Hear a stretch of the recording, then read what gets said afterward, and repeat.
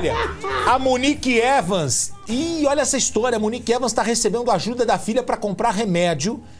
Ela tá passando dificuldade, Fabiola? Eu não sei se ela tá passando dificuldade. O remédio ela- é caro? O remédio deve ser muito caro, né? E a, a Bárbara Evans ganhou e ela guardou, viu? Ah. Ela ganhou 2 milhões quando ela foi vencedora de uma das edições da Fazenda aqui na Record. E ela guardou o dinheiro, boa parte do dinheiro ela guardou. E aí, olha o que, que a Monique Evans falou. Ela deu uma entrevista dizendo assim: a, a Bárbara paga os meus remédios.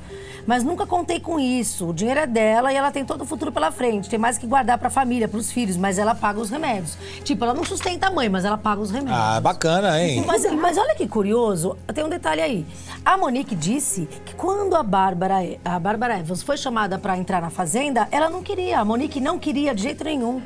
Ela falou assim: eu fiz de tudo para convencê-la a não participar do programa. Eu me joguei no chão, eu fingi que tinha morrido e disse que ia me matar para minha filha não ir, mas ela foi. Três meses fiquei dentro de casa, sem dormir, assistindo tudo que aquela criaturinha fazia. Ainda bem que ela foi, né? Tá aí. Ainda bem que ela foi, agora ela tem tem esse dinheiro para pagar os remédios. É verdade.